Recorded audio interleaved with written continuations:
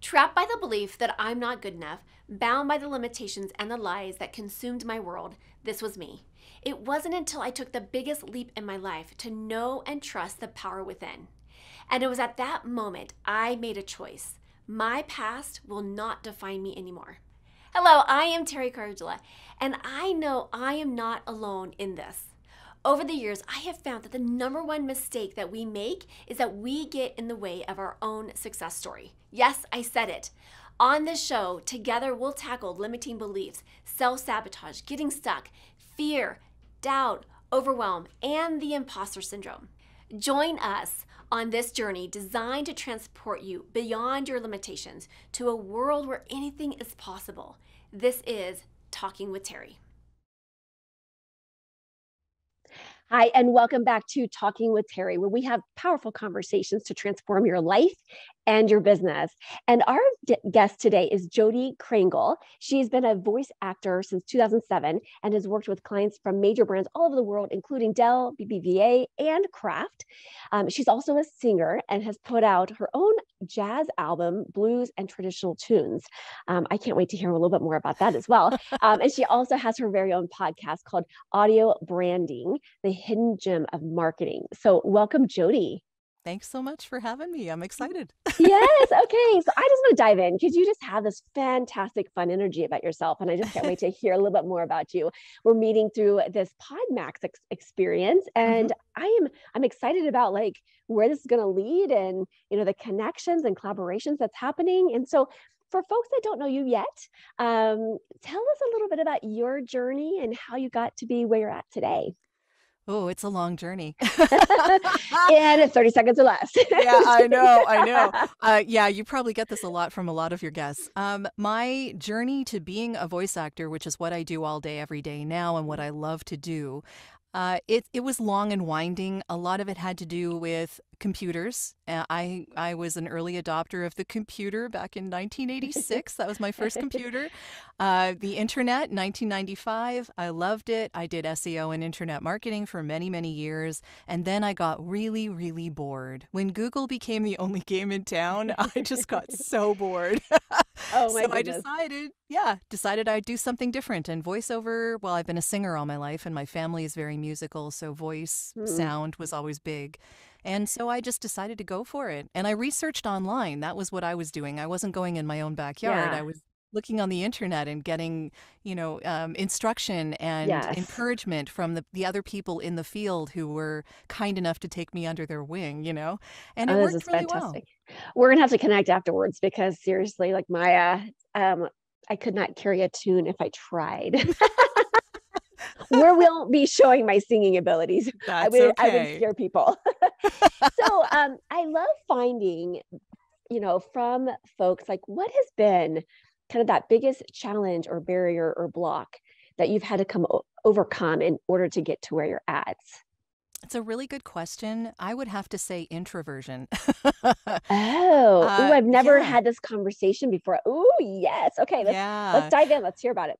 Well, well, part of what I say about being an introvert is that it isn't necessarily that you're shy. I mean, I'm in a business where I need to be on at certain times. Yes. You know, authentically, but still on. Yeah. And I need to make sure that I feed my own mental health in that I have enough time after I do that to sit back and have some peace. Because Yes. that's how I replenish my energy. So, but I had to learn that. That is definitely Yes. something I had to learn. And I am like very firmly an INFJ. I don't know if you know like any Yes, with these. the with Yeah, the Enneagram. exactly. She's So, talking about Enneagrams, okay? yes. Yeah, the, that's Myers Briggs, right? Um, I think so. INGF is uh oh you're you're, you're right. You're right. It's um you're right. It's Myers yeah. Briggs, not Enneagram. Yeah, the Enneagram. yeah, it's yeah, it's one or the other. it's Myers Briggs. yeah, but apparently the INFJs are kind of like unicorns because there's like 3% of the population that is this. But I will tell you that I saw a thread in Facebook just recently where a bunch of voice actors were asked what their Myers Briggs number, like letter was, letters. Yes.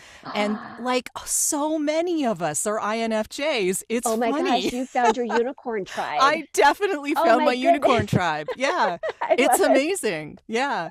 So so yeah, it's a hard thing to overcome because I think a lot of people do equate it with being shy, but that's not really what it is. It's it's about how you replenish your energy. Agreed. And so Yeah, Yes. so I have to make I have to make very certain that I don't book too many things together, that I don't have interviews or that I'm not interviewing people too close together. Other people can batch these things. I can't. I just Yes. can't. Yes. so I need to know that about myself. yeah and i think this is really important because i think um, once we know this we can figure out like how we and you're absolutely right like um, it's it's not whether you're shy or reserved or anything like that is it's how you replenish your energy and how you fuel back up and, and this goes back to kind of your self-care and Mhm. um, i always joked with people because i was extraordinarily shy when i was i mean so shy um, but i um, i didn't want to I, I didn't talk to people i didn't you know but over time i became like truly an extrovert and so i would call myself an, a true extrovert because that's how i refuel so conversations like this like it just it fuels me right and something Yeah. like this for you might drain you because you have to be kind of on right um Yeah. and you know what's interesting is i've i've seen many professional speakers over the years i would say a good f- amount of them are introverts which is interesting because they do kind of have to flip, flip the switch to be on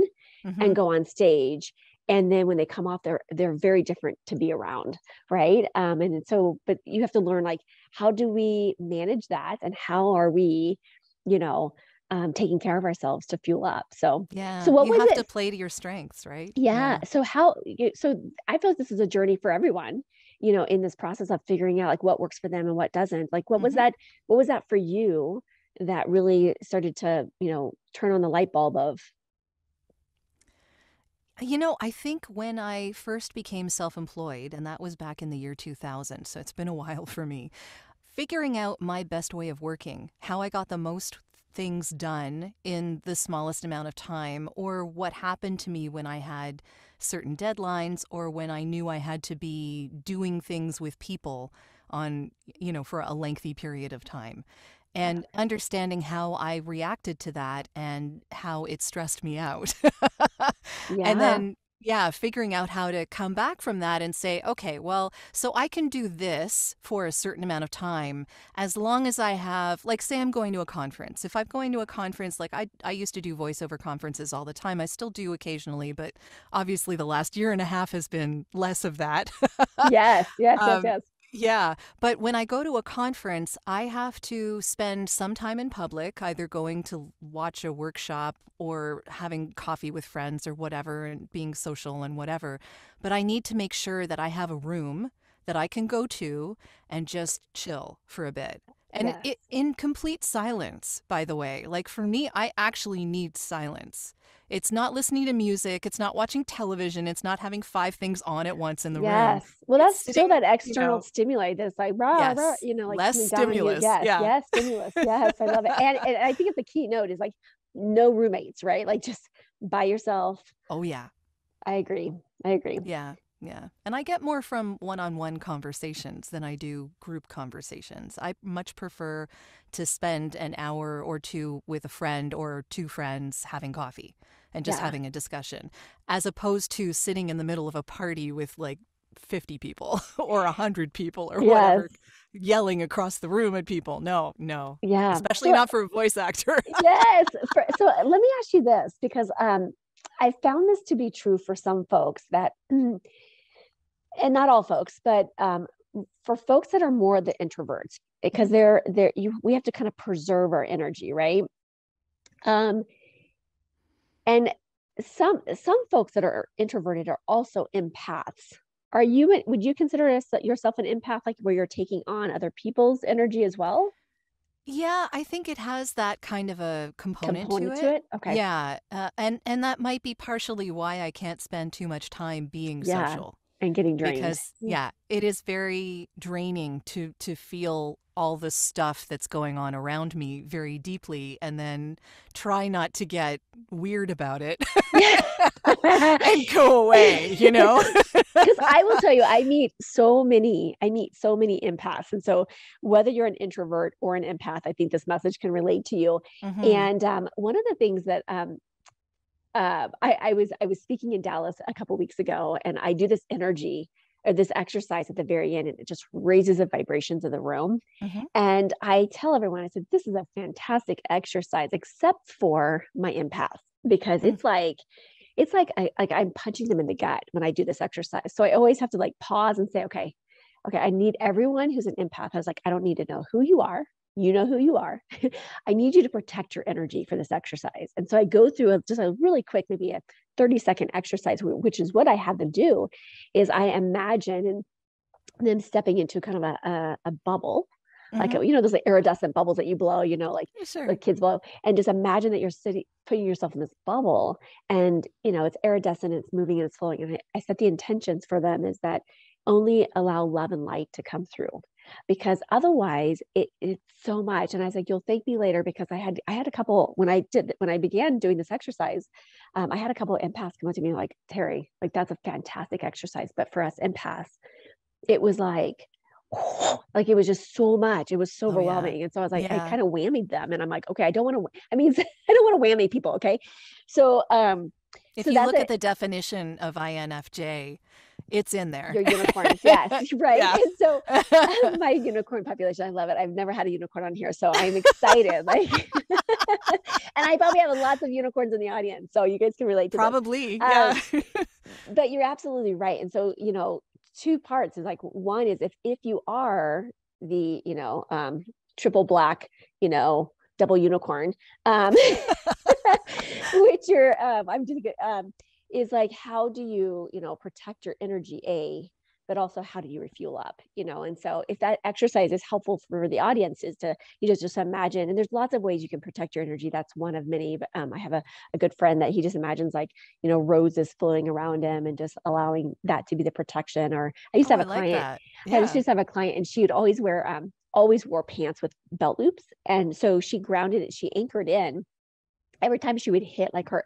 belt loop on her right side, she imagined that she was like an astronaut and it was like fueling up her, you know, like getting all puffy. And then she'd have like a big old like um, screen that would come down and around, go clink, you know. And so she was like, "Okay, this is my visual. This is my experience That's so um, of feeling like I'm protecting my energy." So there's lots yeah. of ways that you can protect your energy to, you know, maintain that energy because, you know, you, you don't have a lot to give because you need to conserve that, you know, conserve that energy.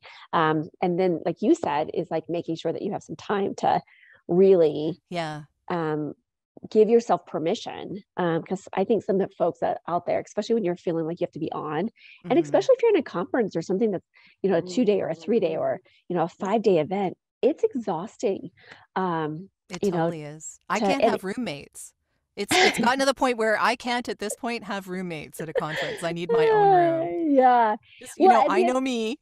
yeah, yeah, I get it. And I'm the opposite. I'm always like, ooh, I wonder who could be a roommate, you know, because yeah, I'm like yeah. the opposite, right? Like I think I've, I've gone and, and, and, done events maybe twice without having roommates, but I'm like, oh, this is exciting. This is fun. So yeah. Um, um, so what would, you know, anything else that you can share with our listeners that would be a great, you know, tool or strategy, you know, in supporting them in, you know, kind of this journey that you've had to go through and discover about yourself about being uh, an introvert and, and how, um, you know, you can best, you know, be at your A level game mm-hmm. and being able to nurture this as well.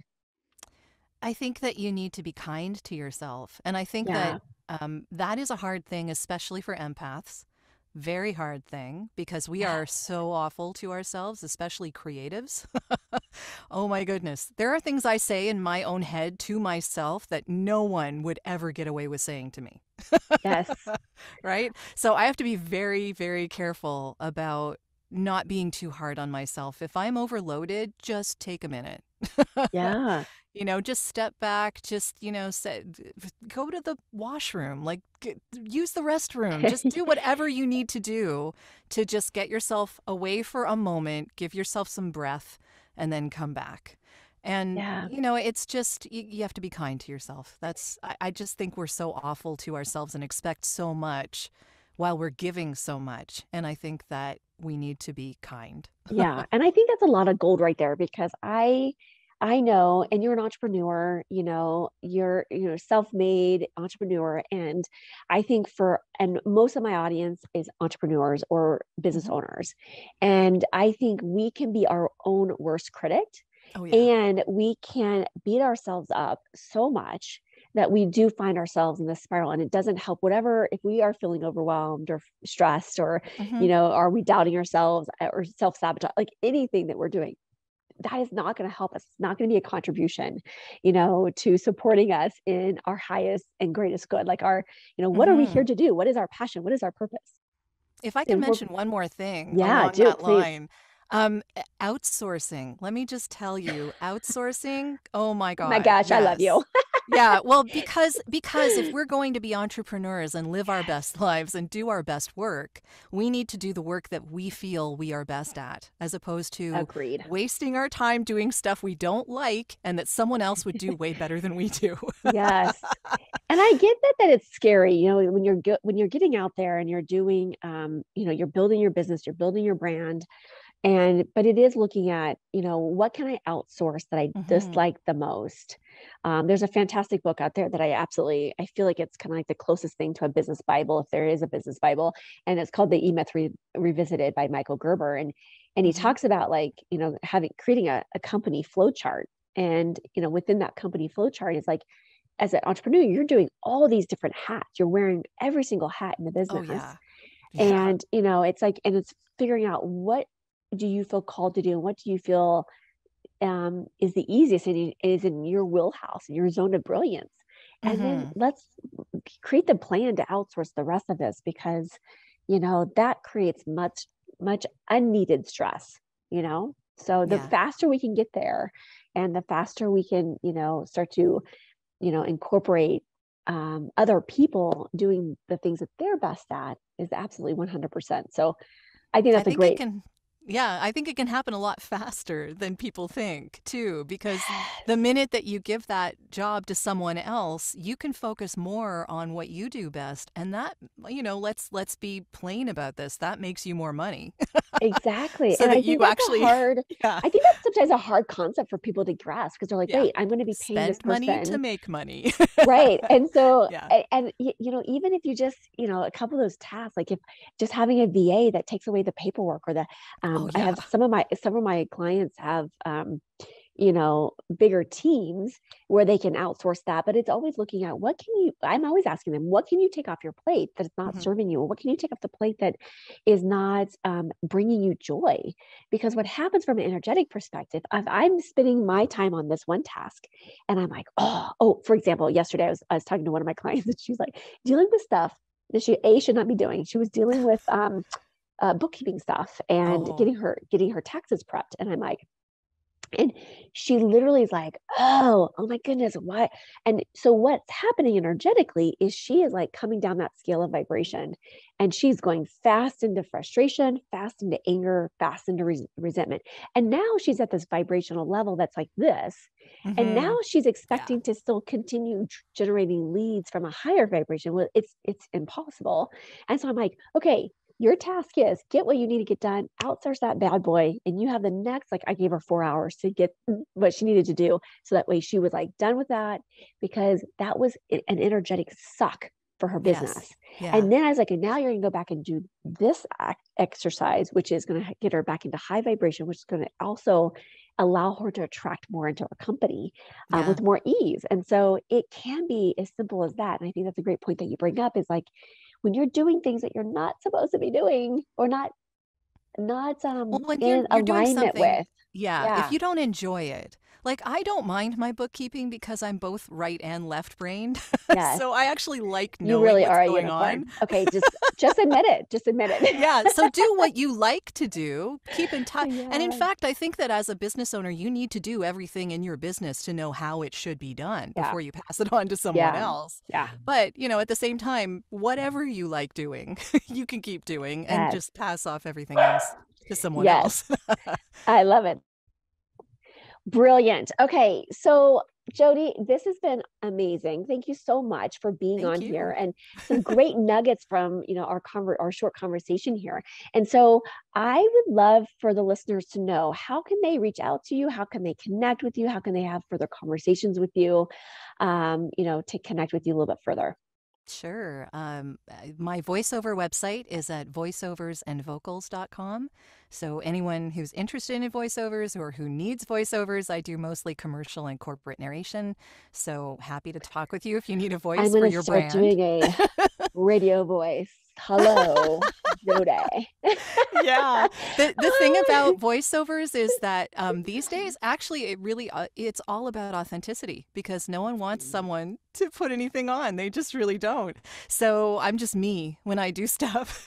it's just Okay, thank you for just giving me like I, you know, I, and you probably see this. I- I'm going to digress for a second. it's okay. You probably see this a lot in the sense of um, people not liking their voice because I think that's probably the number one Ah. thing when anyone's doing recordings, Facebook. I have clients that are like they're doing um, videos for their website or things, and they're like, "Oh, I don't do the videos because Mhm. I don't like my voice.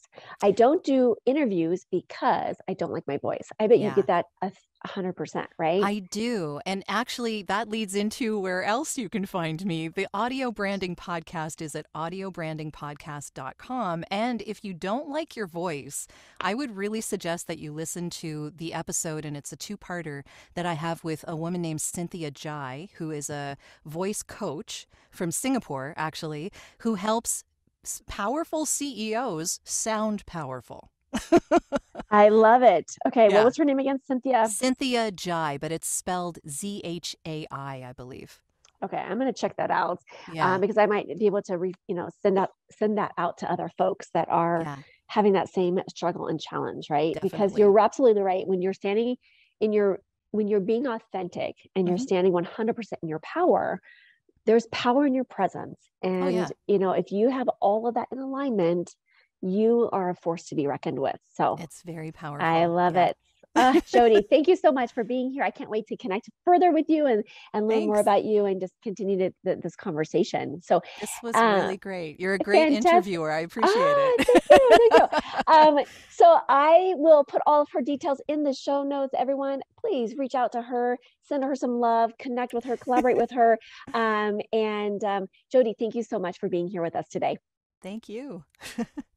I am so grateful that you joined me for this episode. If you've enjoyed this, then there's just one thing that I would like you to do click to subscribe and leave me a rating and review. As my way to thank you, let's connect for a free consultation. Just reach out to me at Talking with Teri, that's T E R I, dot com to book your time.